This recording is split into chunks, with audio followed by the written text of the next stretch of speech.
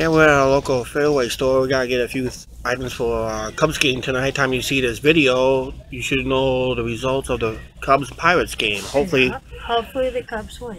yeah, play on the St. Louis Cardinals. So we'll be right back. All right, we just left our local Fairway store. We're just heading back to our apartment, and just got a few things for uh, our pizza, snack chips, uh, some soda, and some beer.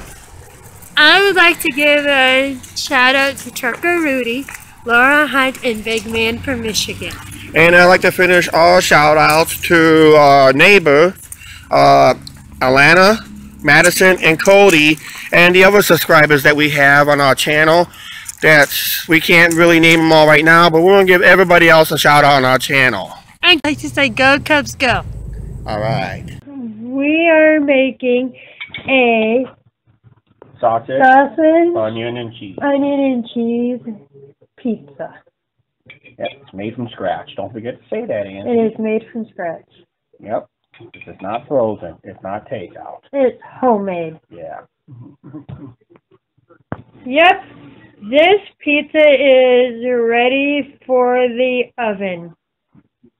Okay, we got our we got our food here. We got our pizza. We got our chips and dip. We got people got the beverages. I got my school buddy uh, Frank. I went to school with him.